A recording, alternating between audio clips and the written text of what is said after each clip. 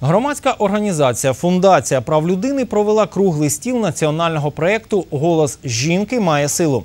Координатори платформи, громадські діячі та блогери зібралися, щоб обговорити проблеми правозахисту внутрішньопереміщених жінок, впровадити нові програми по відновленню миру і діалогу жінок-переселенок із сучасним суспільством. Минулоріч добігла кінця перша фаза проєкту, до якого вдалося долучити близько п'яти тисяч осіб. Після успішного впровадження платформи наступну другу фазу розширили на дві області. Загалом заходи відбулися у Київській, Дніпропетровській, Запорізькій, Сумській, Харківській, Луганській та Чернівецькій областях.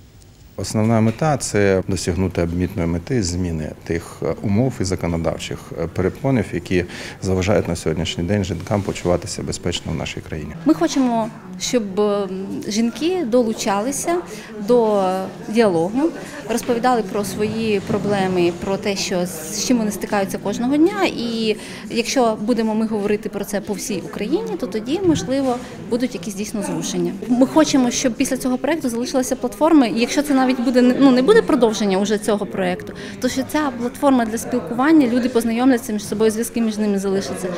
Воно далі буде працювати вже незалежно від того, буде це проєкт чи ні.